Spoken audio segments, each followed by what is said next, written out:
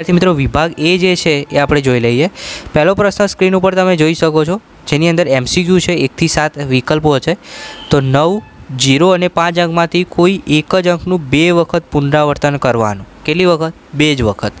અને એ કરીને ચાર અંકની સૌથી મોટામાં મોટી સંખ્યા. એટલે આમાંથી તમારે સૌથી મોટામાં મોટી અંક, અંકની સંખ્યા શોધવાની છે, જેમાં નવ માત્ર બે જ વાર આવેલું હોવું જોઈએ. તો પહેલા નંબરની જે છે, નવ્વાણું જીરો પાંચ અને નવ્વાણું પચાસ. તો આમાંથી સૌથી મોટી કઈ થશે? નવ્વાણું પચાસ. એટલે પહેલામાં આન્સર આવશે ઓપ્શન સી. નોટબુકમાં લખતા રહેજો, બરાબર? જોડે જોડે. એટલે તમે અહીંયા જ તૈયાર કરી દો. બીજો પ્રશ્ન છે, રોમન અંકમાં પચાસ માટે કયો સંકેત વપરાય છે? બરાબર? તો પચાસ માટે કયું વપરાય છે? એલ ખાસ યાદ રાખજો. અને સો માટે સી વપરાય અને ડી જે છે પાંચસો માટે વપરાય. એમ જે છે હજાર માટે વપરાય. ફરીથી હું કહું છું આવડતા યાદ રાખવાનું. એલ સી ડી એલ માટે પચાસ સી માટે સો ડી માટે પાંચસો અને એમ હોય તો હજાર. બરાબર? પણ આપણને આપણા પેપરમાં શું પૂછેલું છે? પચાસ. તો આપણે ખાલી એલ લખવાનું, એટલું યાદ રાખી લેવાનું. ચલો, આગળ જોઈએ ત્રીજો પ્રશ્ન. એકથી દસ વચ્ચે આવતી સૌથી મોટી અવિભાજ્ય સંખ્યા કઈ છે? અવિભાજ્ય સંખ્યા તો સાત જે છે અને નવ. નવ બી અવિભાજ્ય સંખ્યા થશે. બરાબર છે?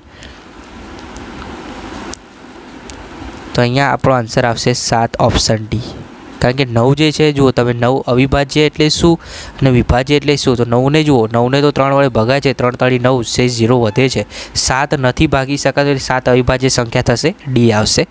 ચોથો પ્રશ્ન છે, નીચે પૈકી કઈ સંખ્યા અવિભાજ્ય છે? તો ચાર સંખ્યાઓ આપી છે, બરાબર? જે તમે એકવાર ગણતરી કરજો જે ના ભાગી શકાય અવિભાજ્ય થશે. પાંચમું છે, છ કલાક અને વીસ મિનિટ. બરાબર? હવે છ કલાક એટલે નીચે અહીંયા છ હોય ઘડિયાળમાં જુઓ. અને વીસ મિનિટ એટલે અહીંયા બાર હોય, અહીંયા એક લખ્યો હોય, બે લખ્યા, અહીંયા ત્રણ અને ચાર, એટલે અહીંયા કાંટો હોય એક્ઝેક્ટ અહીંયા પાંચ. એટલે આ હવે સેકન્ડ કાંટા વચ્ચે બનતો ખૂણો. તો આ કયો ખૂણો બન્યો તો તમે જોઈ શકો છો, આ લઘુકોણ કરતાં પણ કેવો છે? નાનો છે. એટલે આ કયા પ્રકારનું કોણ થશે? કાટકોણ લઘુકોણ. અહીંયા ત્રણ ઉપર હોય તો કાટકોણ કહેવાય અને એનો અડધો એટલે લઘુકોણ. તો આપણો જવાબ આવશે ઓપ્શન ડી લઘુકોણ. ખાસ લખી દેજો, તૈયાર કરી દેજો. છઠ્ઠો પ્રશ્ન છે, સંખ્યા તમને આપી દીધી છે. અહીંયા જે વચ્ચે જે છે, ખાલી જગ્યામાં કયો આંક મૂકવાથી તેની સંખ્યા ત્રણ વડે નિશેષ ભાગી શકાશે? તો કયો આંક આપણે મૂકીશું? તો સિમ્પલ ચાર મૂકીશું, છ મૂકીશું કે આઠ? તો આપેલ સંખ્યામાં આપણે પહેલાં તો બે મૂકીએ તો પણ ઇઝીલી ભાગી શકીશું. કારણ કે ત્રણ વડે ભાગવાનું છે ને? બરાબર? તો આપણે આઠ આઠ દુસો અહીંયા બ્યાસી લખીએ. તો જે સંખ્યાને ત્રણ વડે ભાગી, તમે છ લગાવી જુઓ. તો એના પરથી તમને આન્સર આવી જશે, બરાબર? હવે આગળ જે પ્રશ્ન છે, એમાં ખૂણું પી એ વાયનું માપ શોધવાનું છે, બરાબર? હવે વિદ્યાર્થી આગળ આપણે જોઈ લઈએ ખાલી જગ્યા. ખાસ જે છે પ્રશ્નો નોટબુકમાં લખજો અને પછી જે છે સોલ્યુશન સાથે તૈયાર કરી દેજો એટલે પરીક્ષામાં પૂરેપૂરા એંસી માર્ક્સ તમે લાવી શકો. ચલો, હવે અહીંયા જુઓ. પ્લસ એક, એટલે નવ હજાર નવસો નવ્વાણું છે. એની અંદર એક ઉમેરીએ. તો ખાલી જગ્યા અંકની નાનામાં નાની સંખ્યા.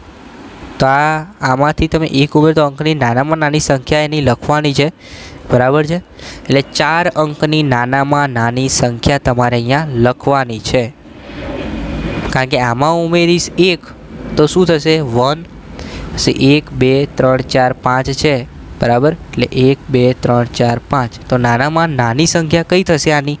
તો સિમ્પલ આ રીતે તમારે લખવાનું. બંને ખાલી એક ઉમેરવાનો છે. હવે વન મિલિયન બરાબર કેટલા? તો એક મિલિયન બરાબર દસ લાખ. યાદ રાખજો. કેટલા લાખ થાય? દસ લાખ. તો તમારે અહીંયા ખાલી જગ્યામાં શું લખવાનું? દસ. રેખાખંડને અંત્ય બિંદુઓ હોય છે. તો રેખાખંડને કેટલા અંત્ય બિંદુ હોય? તો બે અંત્ય બિંદુ હોય. બરાબર? ખાલી જગ્યા એ નિયમિત ચતુષ્કોણ છે. તો ચોરસ એ નિયમિત ચતુષ્કોણ છે તેમ કહી શકાય. એક વાક્યમાં પ્રશ્નોના જવાબ આપવાના છે, સૌથી નાની પૂર્ણ સંખ્યા કઈ છે? તો સૌથી નાની પૂર્ણ સંખ્યા તમને આવડવી જોઈએ ભાઈ. કમેન્ટ કરજો, બરાબર? મારે જોવું છે કેટલા વિદ્યાર્થીને આવડે છે. બીજો પ્રશ્ન છે, છત્રીસને એકી અવિભાજ્ય સંખ્યાના સરવાળા તરીકે લખી દેવાનું. પછી એક સંખ્યા વડે બાર વડે વિભાજ્ય છે, એક સંખ્યા છે જે બાર વડે વિભાજ્ય છે. તો બીજી કઈ કઈ સંખ્યા વડે તે વિભાજ્ય હશે? બરાબર છે? પંદરના અવયવ લખવાના છે. તો પંદરના અવયવમાં આપણે આ રીતે અવયવ પાડીશું. પાંચ તરી પંદર, પાંચ એકા પાંચ. તો ત્રણ અને પાંચ એ પંદરના અવયવ થયા. બે ભિન્ન બિંદુઓને સમાવતી કેટલી રેખાઓ મળે? સૌથી ઓછી બાજુ ધરાવતો બહુકોણ, એનું નામ લખવાનું છે. વ્યવહારમાં જોવા મળતી સમાંતર રેખાનું એક ઉદાહરણ આપી દેવાનું. પછી લખોટી કયા આકાર ધરાવે? ચલો મારે જોઈએ, કેટલાને આવડે છે? લખોટીનો આકાર કેવો હોય? લખોટી જોઈ છે? તો એનો આકાર બી તમને ખબર જ હશે. ખાસ કમેન્ટ કરીને જણાવજો, બરાબર? ચલો, વિદ્યાર્થી મિત્રો, આગળ જોડકા જોડવાના છે. પહેલો પ્રશ્ન છે, ત્રણ બાજુઓના માપ સરખા હોય તો એ કયો ખૂણો થશે? કાટખૂણો હોય કાટખૂણો હોય તો આપણને ખબર હોય કાટકોણ આવે. બે એક ગુરુકોણ હોય એટલે એનો મતલબ શું થયો? ગુરુકોણ ત્રિકોણ આવશે, બરાબર? ચલો નેક્સ્ટ ખરા ખોટા છે, એ જોઈ લઈએ. માઇનસ સો સંખ્યા રેખા પર માઇનસ પચાસથી જમણી બાજુ આવે તો જો આ સંખ્યા રેખા છે, બરાબર? હવે અહીંયા શું આવે? જીરો આ આ મારી કઈ બાજુ થશે? જમણી બાજુ. આ મારી ડાબી બાજુ. બરાબર? હવે હું અહીંયા પહેલાં મારું માઇનસ પચાસ આવશે અને અહીં આ સાઈડ મારું માઇનસ સો આવશે. બરાબર સમજો હવે માઇનસ સો જે છે, એ સંખ્યા રેખા પર માઇનસ પચાસની કઈ બાજુ આવી? જમણી બાજુ આવી? ના, કઈ બાજુ આવ્યું? ડાબી બાજુ. એટલે આ વિધાન કેવું છે? ખોટું છે. તો પહેલું વિધાન ખોટું.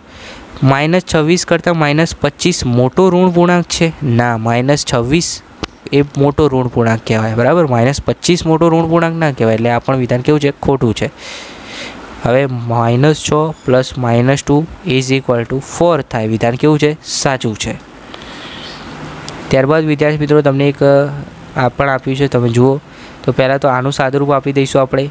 બરાબર છે? માઇનસ માઇનસ પ્લસ કરીશું, એટલે માઇનસ એકત્રીસ થશે.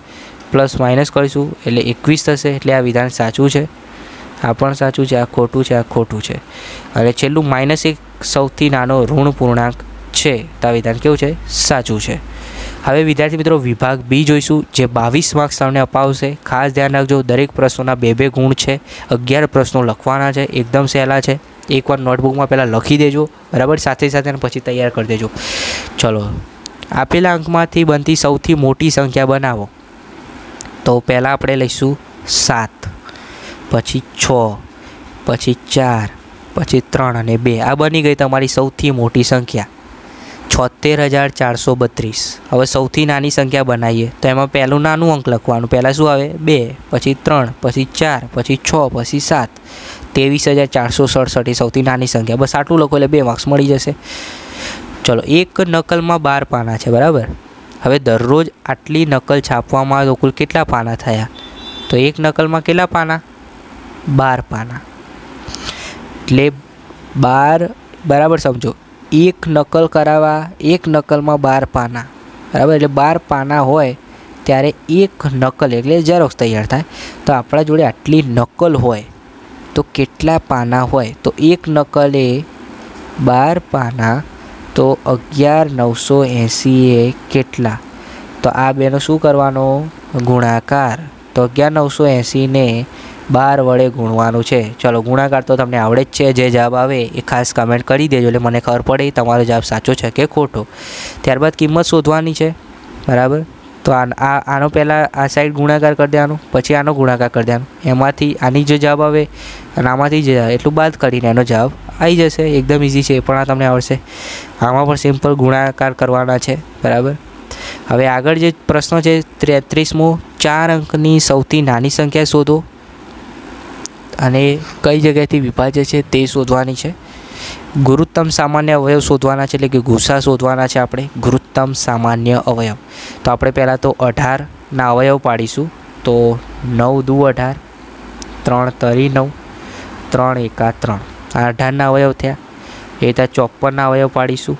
સત્યાવીસ દુ ચોપન, નવ તરી સત્યાવીસ, ત્રણ તરી નવ ને ત્રણ એકા ત્રણ. પહેલાં આવડતા અવયવ પાડી દેવાના. પછી એક્યાસી.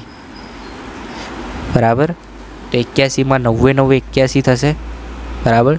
અને એના પહેલાં પણ તમે અવયવ પાડી શકો છો એ જ રીતે કે એક્યાસી છે તો તમને ખબર હોવી જોઈએ કે ભાઈ નવ્વે નવ્વે એક્યાસી છે, ડાયરેક્ટ તમે એ પણ લખી શકો છો. No doubt. ચાલો લખી દઈએ. કારણ કે ગુસા છે એટલે વાંધો નહીં આવે. ગુસા એટલે શું? તો એક, એકના એક અંક જોવાનો. બરાબર? ઓછામાં ઓછું કેટલી વાર આવે છે એ જુઓ. તો ઓછામાં ઓછું બે વાર આવે. તો એ નાનામાં નાની ઘાત થઈ એની. તો ત્રણની બે ઘાત થશે, તો ત્રણ તરી નવ. તો આનો ગુસ્સા આપણને કેટલો મળશે ભાઈ? નવ મળશે, બરાબર? છ, આઠ, બારથી વિભાજ્ય ત્રણ અંકની સૌથી નાની સંખ્યા.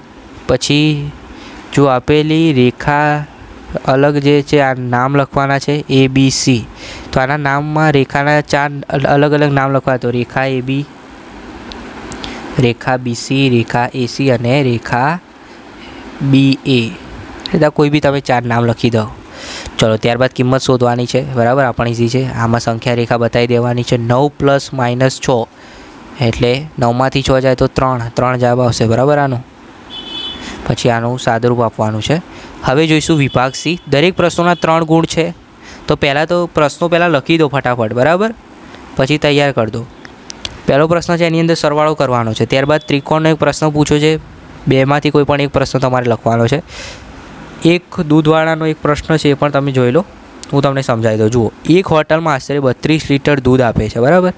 હવે સાંજે અડસઠ લીટર, એટલે કે એક દિવસનું કેટલું થયું? અડસઠ વત્તા બત્રીસ. એટલે સો લીટર થયું. એટલે એક દિવસમાં કેટલું લીટર આપે છે? સો લીટર.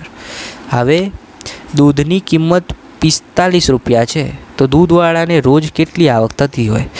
તો એક લીટરના પિસ્તાલીસ હવે આપણે સો લીટર એ વેચે છે એટલે પિસ્તાલીસને સો વડે ગુણ, એટલે પાછળ બે જીરો ઉમેર. તો દૂધવાળાને રોજની કેટલી આવક થઈ?